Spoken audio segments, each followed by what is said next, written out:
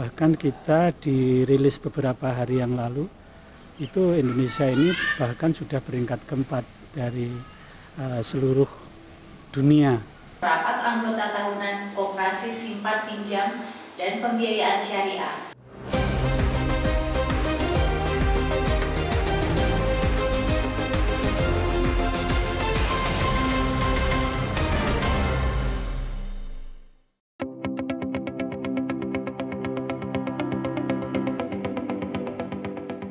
Koperasi Simpan Pinjam dan Pembiayaan Syariah atau KSPPS BMT Rukun Abadi menggelar rapat anggota tahunan. Kegiatan itu diikuti 100 peserta secara luring dan 78 kantor kas BMT Rukun Abadi secara daring.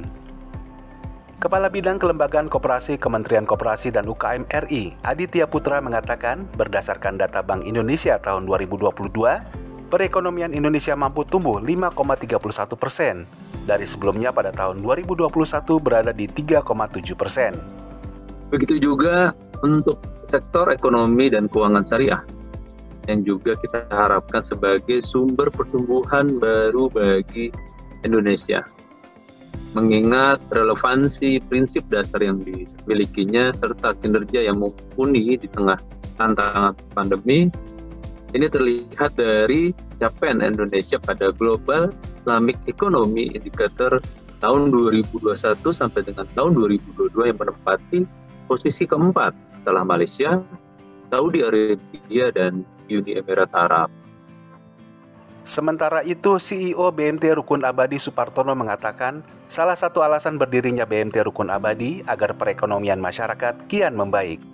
Selain itu, BMT Rukun Abadi merupakan inisiatif warga LDII dalam melaksanakan program 8 bidang pengabdian LDII untuk bangsa dalam menciptakan ekosistem ekonomi syariah. Memang BMT Rukun Abadi adalah salah satu yang diciptakan melalui muamalah syariah kita sehingga ekonomi syariah di dalam LDII kita akan berjalan dengan baik.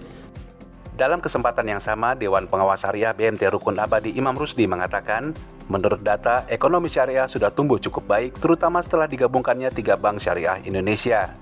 Dengan dimergernya tiga bank syariah besar, uh, di Indonesia ini cukup mengembirakan.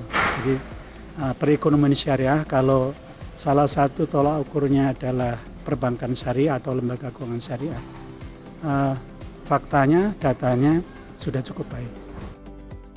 Ia menambahkan, lahirnya BMT Rukun Abadi bertujuan untuk mendorong umat Islam khususnya warga LDII agar bertransaksi secara syariah dan terhindar dari transaksi ribawi. BMT Rukun Abadi. Sekali.